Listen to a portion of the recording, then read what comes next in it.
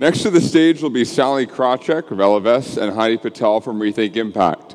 Sallie is the CEO and co founder of Ellevest, a digital financial advisor for women launched in 2016. She is the owner and chair of Ellevate Network. Prior to this, she ran Merrill Lynch and Smith Barney. Sallie is led by a simple idea women ought to invest in women and their interests.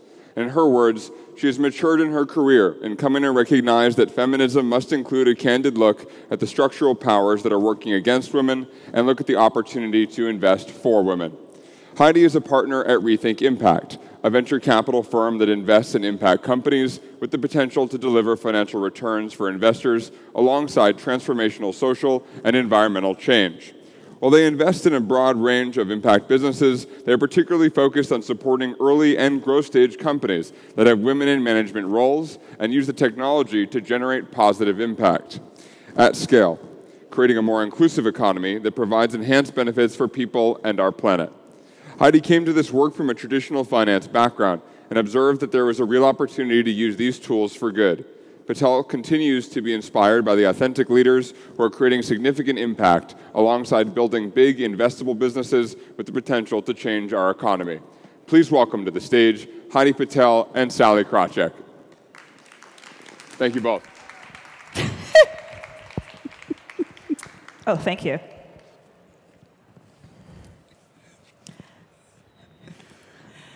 So thanks for sticking with us. I know it's the end of the day and there are food trucks and drinks coming soon, so thanks for being here.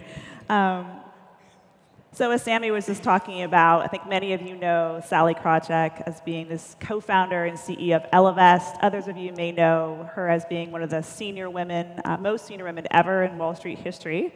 And what you're about to hear firsthand is why Sallie is also one of the most followed women in tech and as I can personally attest, one of the most authentic and hardworking women in the space. And I always say about Sallie, um, she's on a red eye at least once a week, and she's actually on a red eye in just a few hours. um, so, Sallie, one of the big headlines coming out of the Money 2020 conference this week is that, quote, the wealth management industry is failing women. Yep. Um, and some of the evidence of this is 71% of every dollar owned by women is held in cash, and women by the age of 75 are three times as likely to end up in poverty compared to men. So you used to manage 15,000 wealth advisors at Merrill Lynch. What is going on? Why, why are women being so left so far behind? Well, you know, I think the industry for forever has um, said, well, women are different from men. They're very risk averse. They need more financial education. They're not so good at math. There was a whole bunch of reasons why women not investing as much as guys do was sort of their fault.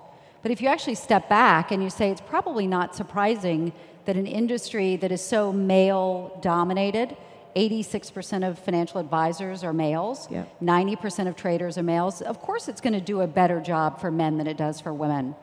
And so we've had investing which has been really gamified, outperforming, beating the market, picking the winners. And as it turns out, as we put in thousands of hours of research on what motivates women to invest, that's not what motivates them. You know, they're not interested in the, the to and fro of the markets and outperforming and watching CNBC.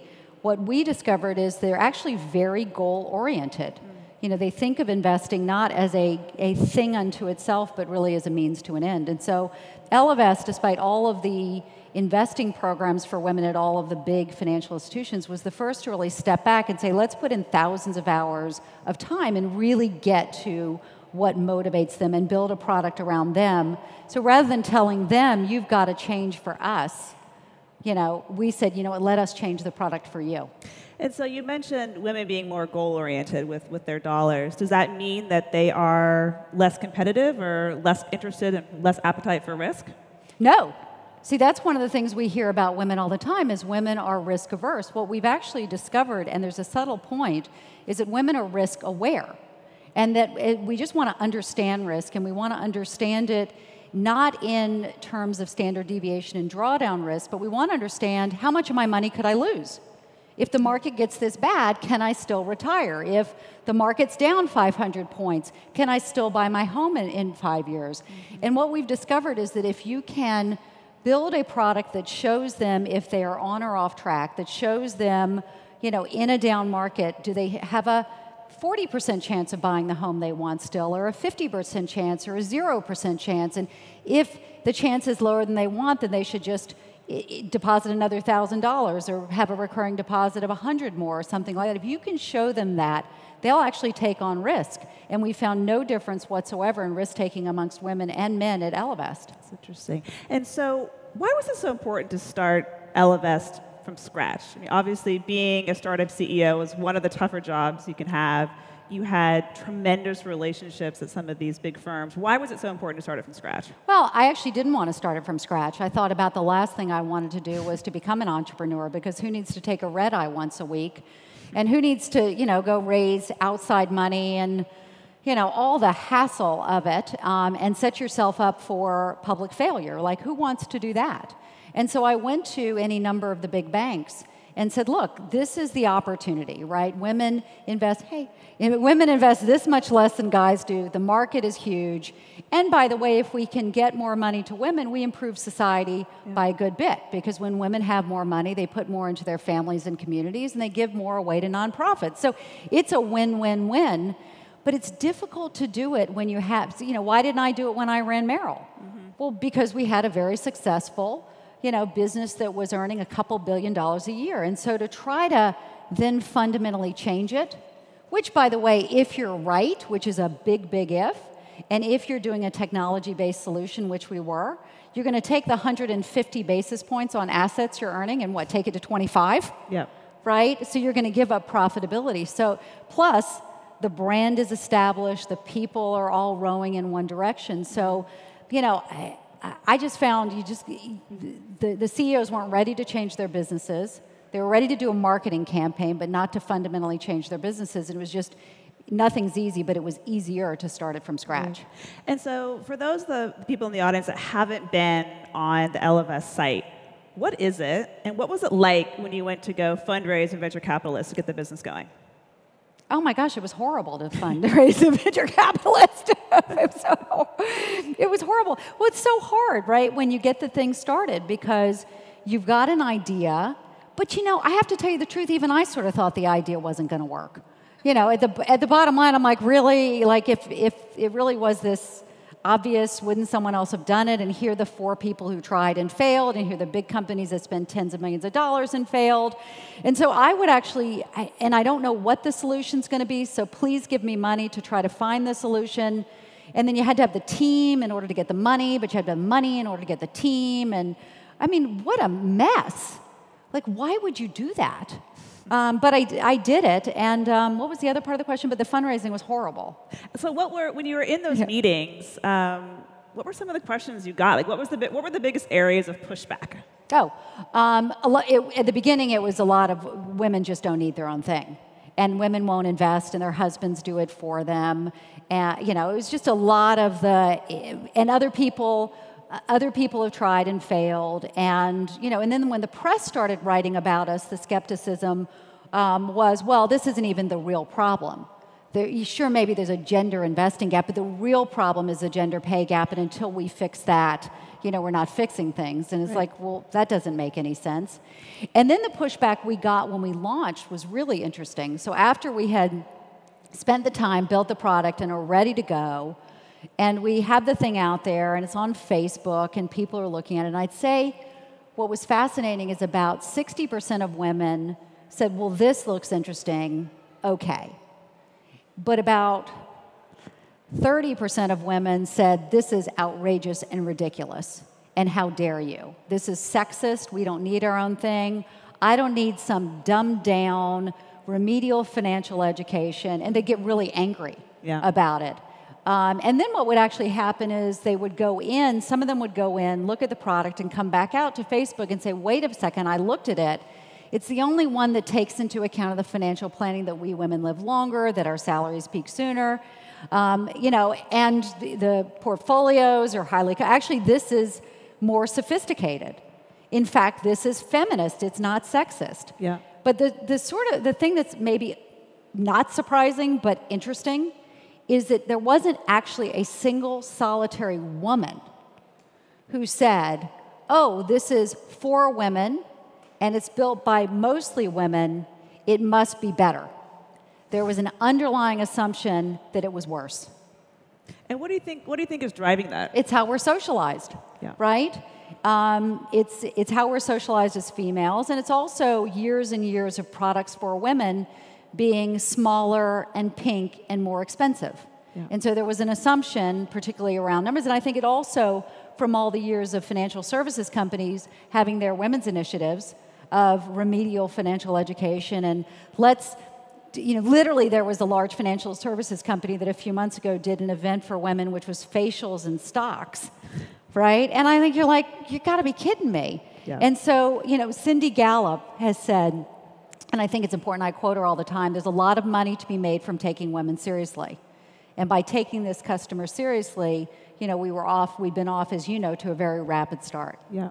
So, you know, you closed your Series A round um, a little over a year ago, and I know that you did a ton of research around this issue and what it means to invest like a woman. Mm-hmm. Uh, now that you've been at this for a couple of years, what parts of that research are you seeing prove out, and what have been kind of big surprises now that you've been running the company for a couple of years? Well, you know, we talked about some of it already the fact that women are not risk averse as we keep thinking they are, um, I think has been surprising for some. Um, what I've been more surpri- surprised about, if, if I'm truly honest, is that we were able to get the traction we've been able to get. Yeah. Because if you actually think about what we were trying to do, it was hey, um, you've never heard of us before. This is a new offering. It invests in a different way than what you're used to seeing. We have no track record. You've got to do it all online. You can't really talk to anybody. Did I mention you've never heard of us before?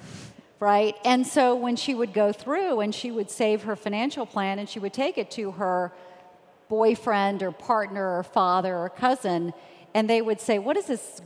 What is this way of investing that you're investing for goals as opposed to trying to pick, you know, get the highest return? That doesn't make any sense. Yeah. And so, you know, it's interesting to me, and, and we were having her change her behavior from most of her money was in cash Mm-hmm. to invest it. So, by the way, while you haven't heard of us before and we don't have a tracker, we could lose everything. And so, I actually think if I'd really thought, you know, sat back and thought about what we were going to do before we did it, I probably wouldn't have done it. Yeah. Because it was, it was just such a high hurdle. But in fact, we gained, as you know, very early, strong traction. Right. So, if I'm someone that's early in my career and I'm really burdened with student loans, is Ellevest right for me now, or should I focus more on paying down those loans Yeah.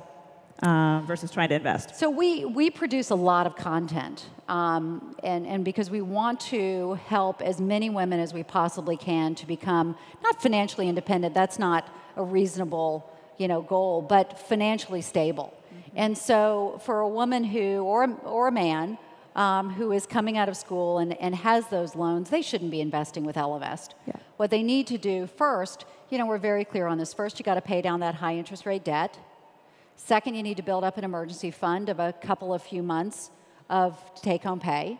The third, which doesn't feel sexy when you're 23, 24, 25, is to start investing for retirement. Yep. Particularly if you get a match because that's free money and you get the tax you know, advantage of it, and then you begin to invest with an Ellevest.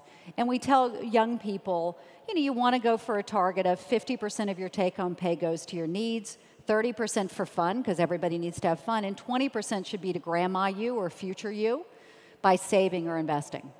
And so, talking about folks that are kind of earlier on in their career, do you see, is this a generational thing? Do you see women that are younger, earlier in their careers, less likely to have that 71% in cash? Um, do you think this investing gap is something that's just going to go away with time? Is it, is it getting better um, as, as people are? I don't know. I don't, I don't know these days, Heidi, if anything's getting better. I mean, we just saw, you know, the new report of women in the workplace, and for all that we've been talking about advancing women, and it's been, you know, every, all the books about it, all the advice about it, the cottage industry about it, we have made no progress. Yeah.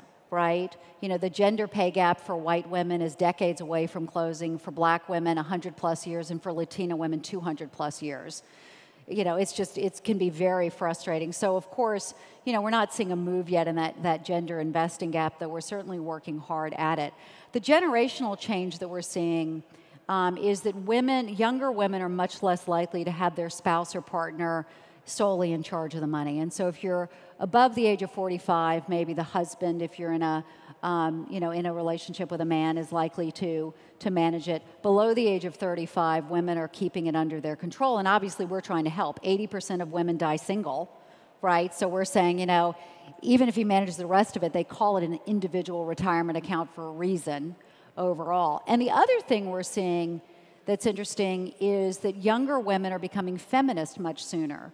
You know, Gloria Steinem has said that women are the only group that become more radical as we age. Mm-hmm.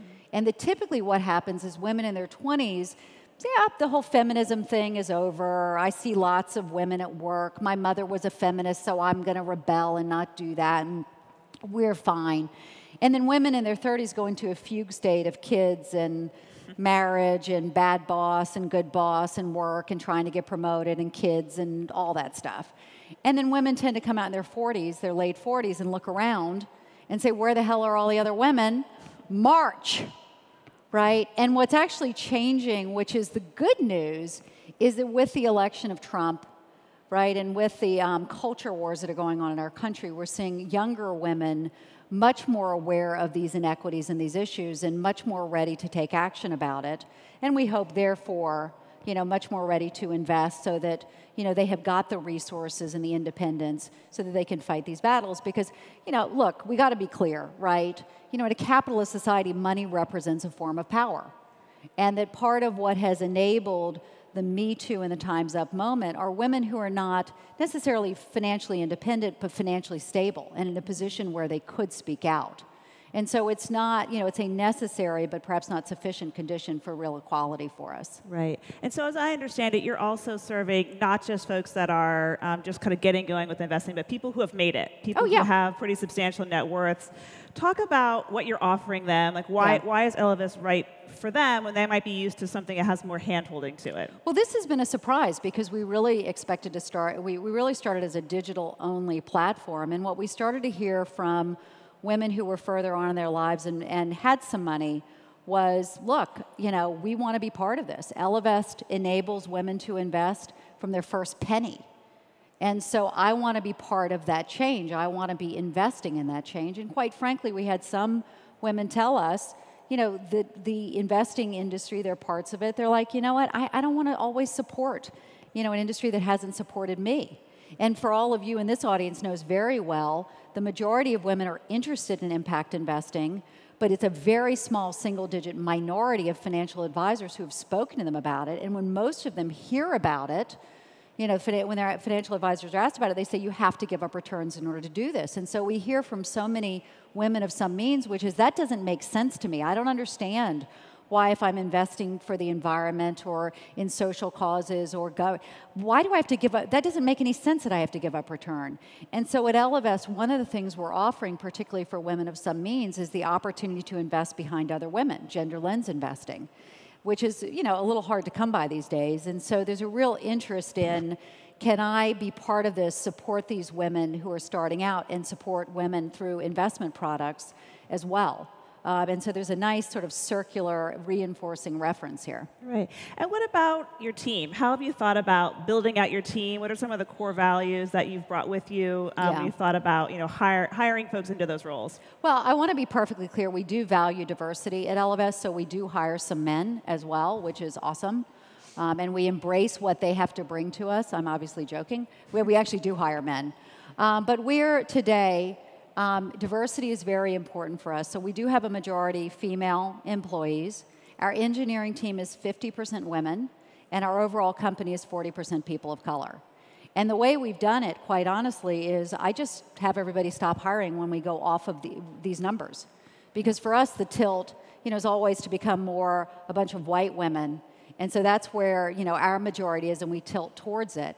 And my co-founder and I, I think you, you've heard this story, you know, when when we were, there was an early hire where we had two individuals, one who was a, a gender fluid individual of color, um, all these amazing tattoos, mohawk, and then we had one sort of uh, blonde haired, blue eyed Caucasian woman. And the team, you know, who was a couple levels down, um, was tilting towards hiring the Caucasian women. I said, Take me through this thinking. And they said, Well, it's really close. It's like 52%, 48% towards the Caucasian woman, you know, and let us, you know, she's great this way. And I was like, Keep talking, keep talking. And I said, You know what? I think we should hire this individual of difference. And I remember my co founder saying, But we have to let our managers manage right? If you force this decision, then they're going to feel disempowered. We're trying to build a meritocracy. You know, they know the next person, you know, should be a person who brings some diverse attributes to us. And, you know, I said, you know what? I grew up in a meritocracy. I grew up on Wall Street, which is a meritocracy that happens to be 90% white males right? And I'm not going to do it with a company that we took outside investors from with the promise that we build a diverse team. And if it is 52%, 48%, it's really 30%, 70%. Because this team, it's their first hire, they don't understand their own inherent biases. And so, and we actually got in a fight. It is rare that we fight. Uh, but we got to where I sort of had sweat trickling down my side because yeah. you know I hate conflict. Yeah. Uh, but we did end up giving the individual um, who brought diversity to us the offer, and they ended up turning us down. Uh, because they said, I don't see enough diversity like me in this company. And so since then, we've made a, a real overt effort.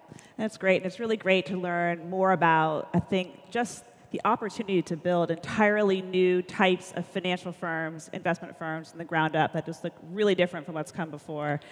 And well, our, what is important to particularly our millennial clients is that we do look like the world that's out there today. We, you know, one of the reasons the other efforts to serve women have failed at other financial services companies is because, you know, they, they don't look like these individuals, and that right. ma- it doesn't matter as much to the women who are 60 years old. It matters a lot to the women who are 25. Great. And on that note, thank you thank so you. much. Thanks for having us. Thanks, guys.